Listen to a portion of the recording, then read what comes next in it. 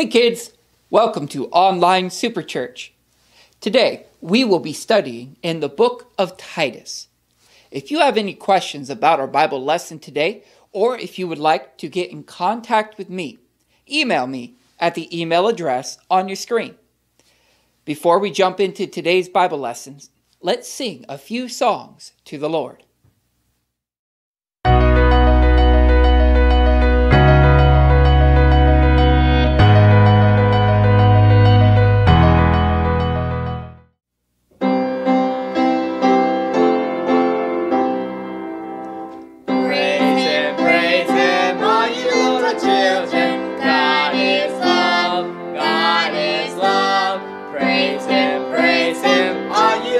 children, that is all.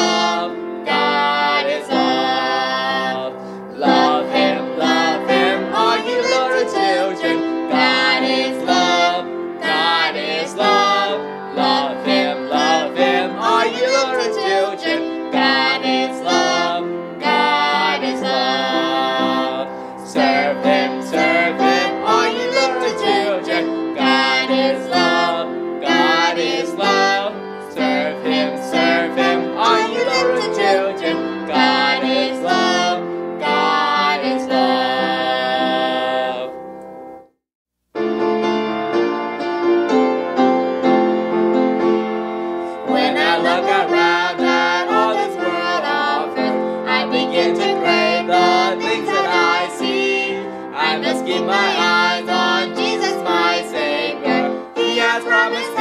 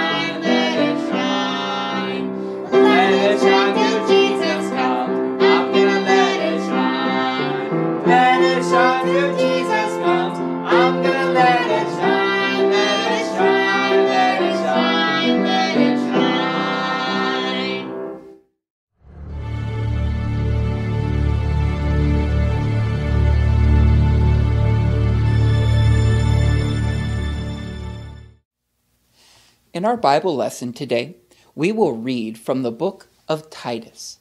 Titus was a letter written by Paul to a young man with that name, Titus. But it also has a lot of good stuff to help us in our life today. And that is why God allowed it to be included in the Bible. Now, right from the beginning of the book, there are some really important things that we can learn. Let's start reading today and see what God wants for us to learn from the letter to Titus. Look at verse number one. Paul, a servant of God and an apostle of Jesus Christ, according to the faith of God's elect and the acknowledging of the truth which is after godliness. First, we see Paul begins to describe himself. Now, Titus already knew who Paul was, but it was important for our sake that we see who Paul was. When Paul wrote this letter to Titus, he started by stating that he was a servant of God. Often, when I send a letter or an email, I'll sign my name at the bottom, Pastor Scott. It's my job and my title. Well, Paul would also give his title in the next phrase, but the first phrase he said was that he was a servant of God. What does it mean to be a servant? A servant is not the boss. They're the worker. They work for the boss. A servant does not get to decide what he wants to do. He is required to do what the boss tells him to do. And a servant is not a leader unless the boss makes him a leader. At our church, Greater Portland Baptist Church, our senior pastor and my boss is Dr. Rick Adams. He tells me what to do. Nine years ago, when I started working at the church, Pastor Adams told me to help in the super church with the kids. So I did. Then he told me to take over the kids' ministry as the kids' pastor. And I did. Sometimes he tells me to do other things like teach a Bible lesson to adults or run a lunch for our grandparents. And sometimes it might be other things like taking down the flags outside when it's really windy so that they don't get destroyed by a storm. My boss, Pastor Adams, gets to tell me what to do because he's the boss. I'm the servant. Paul told Titus that Paul was a servant. But who did he serve? He served God. Paul recognized that God was his boss, and he was just a worker. Now, you might think it would be an easy thing for Paul to be a servant, but I think sometimes it was not so easy to be a servant. Sometimes he wanted to do things his own way. Let me show you what the Bible says in Acts chapter 20, verse 37. And they all wept sore and fell on Paul's neck and kissed him, sorrowing most of all for the words which he spake, that they should see his face no more. Paul had to leave his friends, and he would never see some of them again. That would be hard. But Paul was not the master, he was the servant. God was the master, and God had told him to leave because there was another mission he needed to do. We see also in Acts 21, verse 11 And when he was come unto us, he took Paul's girdle and bound his own hands and his feet, and said, Thus saith the Holy Ghost So shall the Jews at Jerusalem bind the man that owneth this girdle and shall deliver him into the hands of the Gentiles. This means that Paul was going to be arrested if he went to Jerusalem.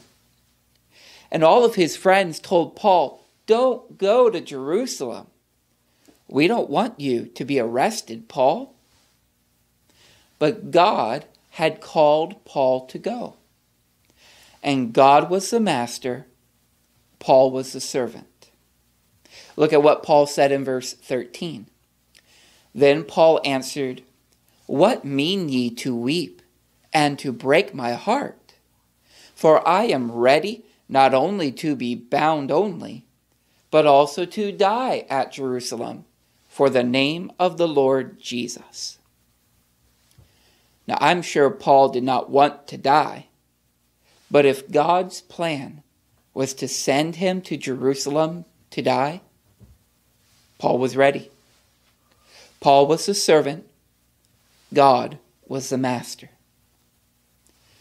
So Paul started his letter this way as a reminder to Titus and to help us today to remember to be a servant of God. God is in charge, and we are responsible to do as He says. Well, then, Paul describes himself as an apostle of Jesus Christ. The word apostle means an ambassador or a messenger. The word apostle is not used much today, except when we talk about the few in the Bible who were sent out by Jesus to be his special messengers. It's a special word used. But even though we are not apostles like Paul, every one of us is an ambassador for Christ. Take a look at what 2 Corinthians 5, verse 20 says. Now then, we are ambassadors for Christ, as though God did beseech you by us. We pray you in Christ's stead, be ye reconciled to God. So, what does an ambassador do? An ambassador is someone who goes to another country to talk with their leaders in the place of a king or president. For instance, any time the U.S. needed to really talk with the United Kingdom or Great Britain, it would be really hard for President Trump or now President Biden to get on an airplane and fly to England. So instead, President Trump asked Ambassador Woody Johnson to go to London and be there to talk with the governor if he needed to he was acting in the place of the president. Now, this picture here is of the new embassy in London, where Ambassador Woody Johnson would work when he was in London. Being an ambassador to London is a very important job. In fact, it was so important that there were five men who were ambassadors to Great Britain, who later became president of the United States. They were John Adams, James Monroe, John Quincy Adams, Martin Van Buren, and James Buchanan. There were other presidents of the United States who were also ambassadors to other countries before they became the president. Thomas Jefferson was an ambassador to France, and George H.W. Bush was an ambassador to the United Nations. So being an ambassador is a big deal.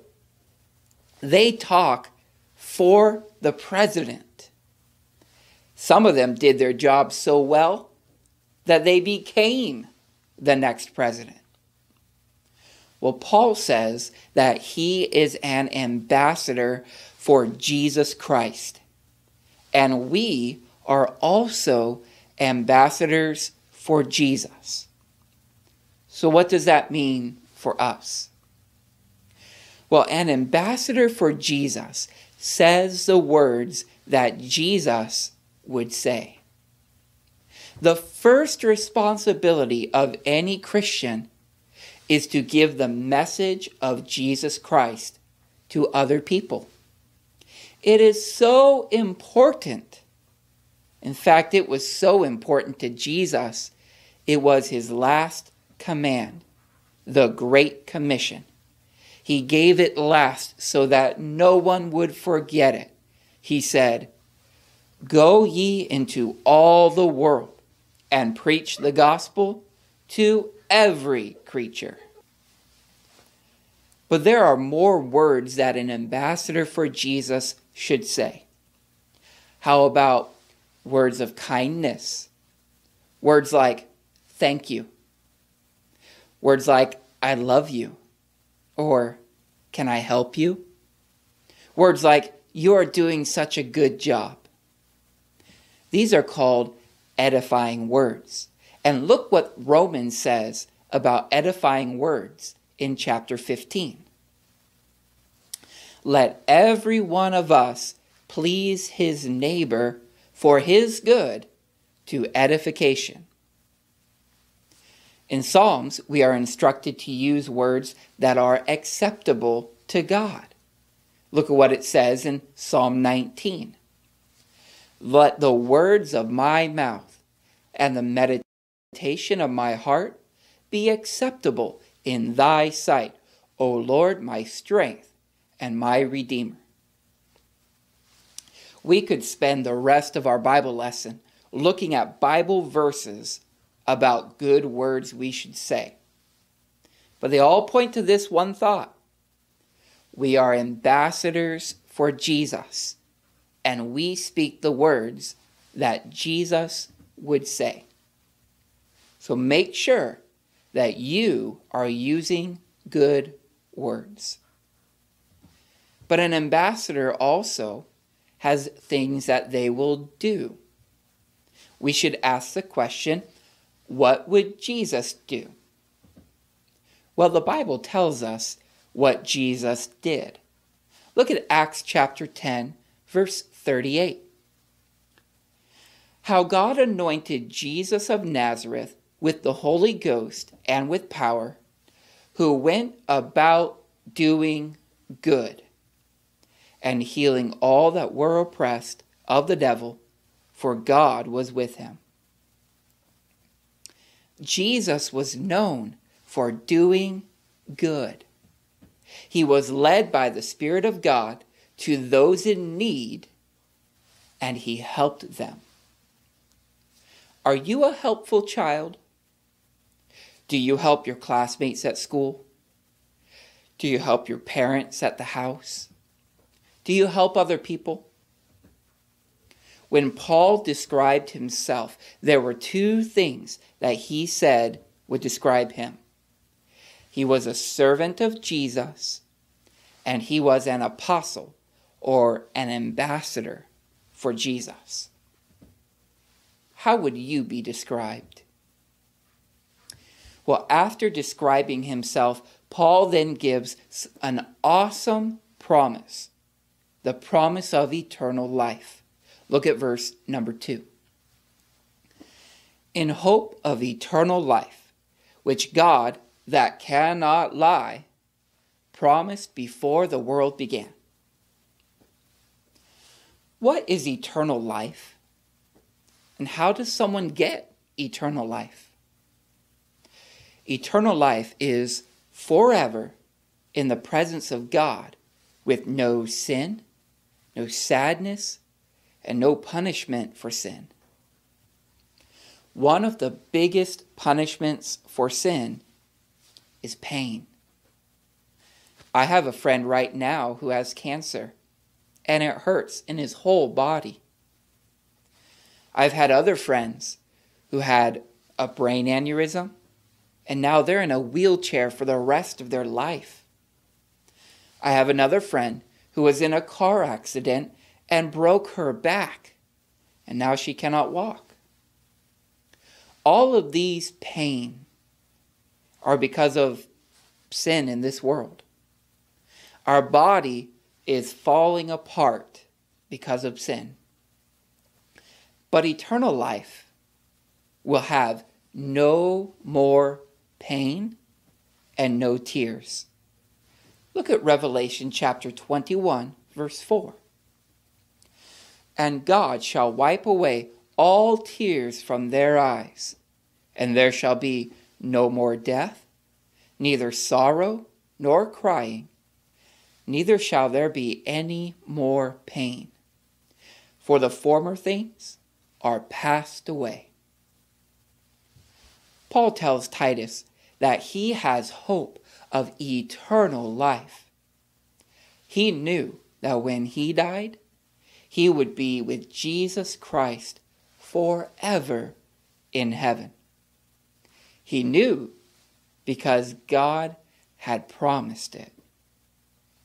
Now, probably the most famous verse in the whole Bible is John 3:16. Look at what it says. For God so loved the world that he gave his only begotten son, that's Jesus Christ, that whosoever believeth in him should not perish, but have everlasting life. The requirements to have everlasting life are very simple for us humans because God did the hard part. As Paul said in our verses, before the world began, God had a plan to give us eternal life. God knew people would not be worthy of eternal life because we all sin. Look at Romans chapter 3, what it says in verse 10. As it is written, there is none righteous, no, not one. And in verse 23, for all have sinned and come short of the glory of God. Every person has sinned. You who are watching today, and me. Your sin may be bigger or smaller than my sin, but we all have sin. And all of our sin deserves God's punishment, which is death and separation from God in hell.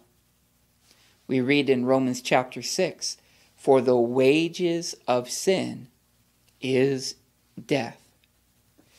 In Revelation 20, we read, and whosoever was not found written in the book of life was cast into the lake of fire. But before the world was even created, God made a plan to save you from your sin that he knew you would do. That plan was for the Son of God, Jesus Christ, to leave heaven and die on the cross to take away your sin and mine. His dying on the cross was the payment for us. In Colossians chapter 2 verse 14 we read, blotting out the handwriting of ordinances that was against us, which was contrary to us, and took it out of the way, nailing it to his cross. Because Jesus took our sin and nailed it to the cross, it will no longer keep us out of heaven.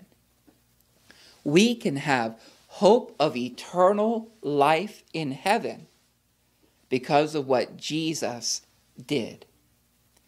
And he gives it to us as a free gift if we will accept him. Look at Romans chapter 10 and verse 9. It says, That if thou shalt confess with thy mouth the Lord Jesus, and shalt believe in thine heart that God hath raised him from the dead, thou shalt be saved. Paul accepted that gift of salvation when he was on the road to Damascus so he knew he had eternal life. Titus accepted that gift of salvation when Paul came to his town to preach. I have accepted that gift of salvation also.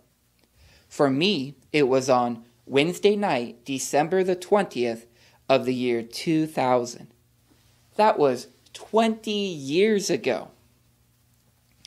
Maybe today someone is watching this video who has never accepted the gift of salvation, but they might want to do that today. I know there are a few kids watching today who need to ask Jesus to be their Savior. If you would like to ask Jesus to be your Savior, you can pray this simple prayer of faith right now. And if you believe in Jesus, he will save you too. You could pray, Dear Jesus, I know that I am an evil, nasty sinner. I am sorry for my sin. I believe that you died on the cross to pay for my sin, and I believe you came back alive again because you are the Son of God. I ask you to please forgive me and come into my life and save me and make me clean in my heart from sin.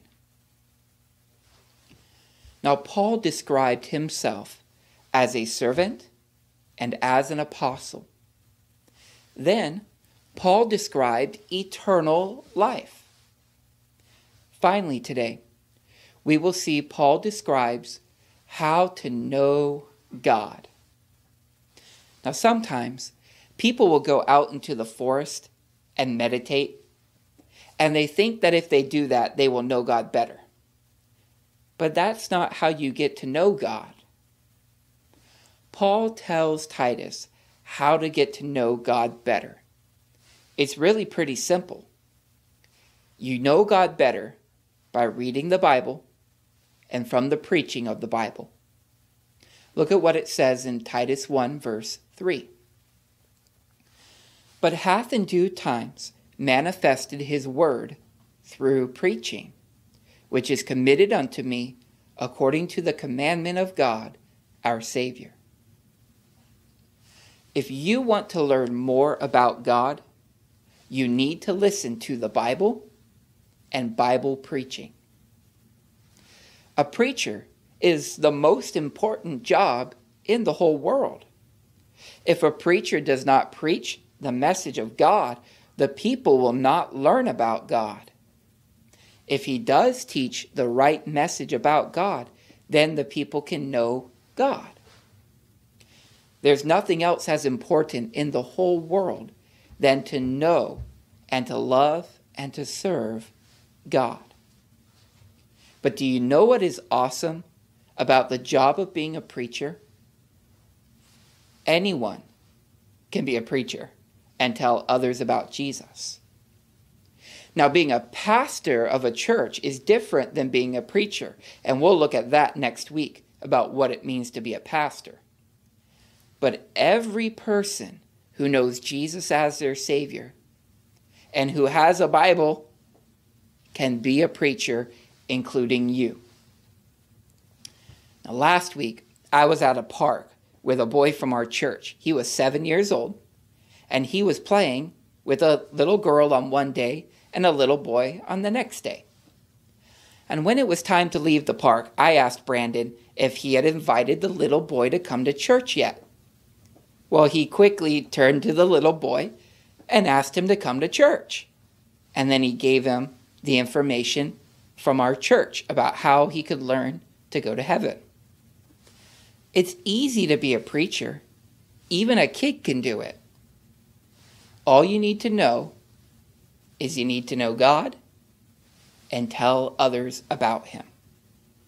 Look at what Romans chapter 10 verse 14 says.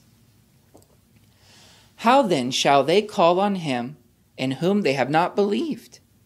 And how shall they believe in him of whom they have not heard? And how shall they hear without a preacher? So then faith cometh by hearing, and hearing by the word of God. When Paul wrote this letter to Titus and to us, he described himself as a servant and an apostle or an ambassador. Are you a servant of God today? Are you living like an ambassador for Jesus? You should be. Then Paul reminded Titus of the hope of eternal life. Will you go to heaven when you die? How do you know? You will only go to heaven if you have accepted Jesus as your Savior. And finally, do you ever tell people about Jesus and the Bible? You should. you can be a preacher too. Thank you for watching Online Super Church today. I hope you will take the lesson and apply it to your life. If you would like to email me, I would love to hear from you. Have your parents send me an email at the address below, and I will get back to you as soon as I can. Every year, our church hosts the Northwest Children's Rally. This year's rally is scheduled for March 13th. One of the events is to memorize and quote the book of Titus, the book that we'll be studying. So I have a challenge for you children who are watching here on YouTube. For every 10 verses in the book of Titus that you memorize, I have a prize that I will send to you in the mail for your hard work. Now, in order to be eligible for this prize, you must be 10 years old or younger. After you memorize the 10 verses, you must say them to your parents and then have your parents email me at the email address below so that I can send you the prize. You have from today until March 13th, 2021 to complete this challenge. I hope you will work hard to hide God's Word in your heart. Thank you for joining us, and I hope you'll join next week again for Online Super Church. In the meantime, make sure you tell your friends to watch too and to hit that thumbs up button. I'll see you in the next video.